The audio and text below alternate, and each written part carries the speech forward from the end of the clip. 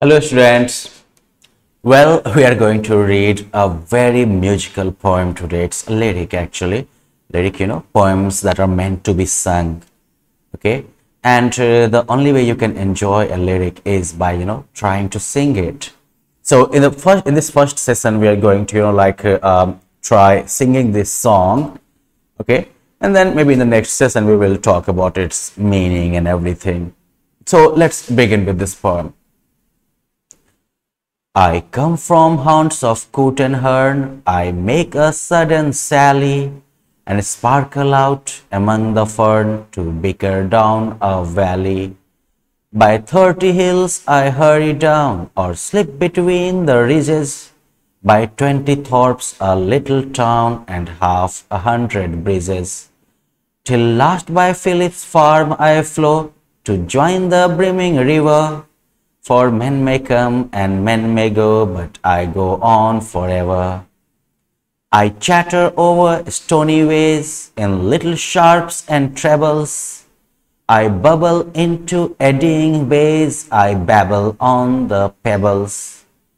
With many a curve my banks I fret by many a field and fallow, and many a fairy foreland set with willow weed and mallow.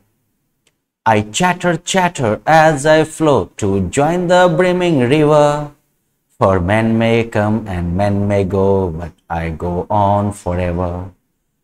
I wind about and in and out with here a blossom sailing, and here and there a lusty trout, and here and there a grayling, and here and there a foamy flake upon me as I travel with many a silvery water break allow the golden gravel and draw them all along and flow to join the brimming river. For men may come and men may go, but I go on forever.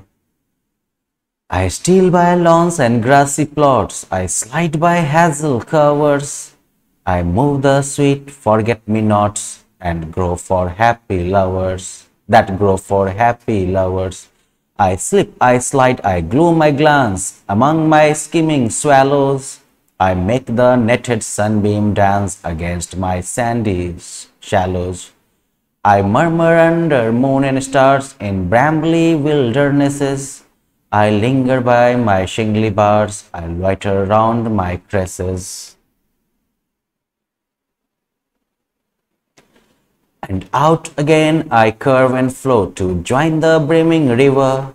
For men may come and men may go, but I go on forever. So well, it's uh, you must have noticed that it's truly you know like a very musical poem written by Lord Alfred Tennyson, right? And uh, this poem actually uh, describes the journey of uh, brook okay first person narration so the brook is describing its own journey right as it you know like uh, starts from i mean as it starts from its origin point and then it travels to the river the bigger you know like larger river that it be it will join okay इसमें जो कुछ key themes है I mean apart from you know like uh, giving you a great you know like imagery of uh, uh, you know like uh, land a great imagery of beautiful landscapes that the river passes through and the beautiful uh, birds and uh, fishes that uh, uh that could be found in i mean that, that you know like live around the, the this brook. Uh, so like it gives you know like i mean it, it paints a really really beautiful picture और discovery I mean description कुछ ऐसा है कि आप जो है almost visualise कर सकते हैं इन चीज़ों को आप जो है आ, इसके जर्नी को ऑलमोस्ट जो है इमेजिन कर सकते हैं एक्सपीरियंस कर सकते हैं now for this session your task will be to you know like uh, try reciting this poem okay and uh, not recite actually you have, you have to try singing this poem because it's a lyric okay and uh, while singing this poem you have to you know like uh, keep the musical quality around it. You can make an audio recording of it and upload it on the classroom. Okay. And in the next session, we will uh, look at its uh, meaning line by line. And then we will also focus on some literary devices that have been used uh, in this poem. Okay. Bye-bye then.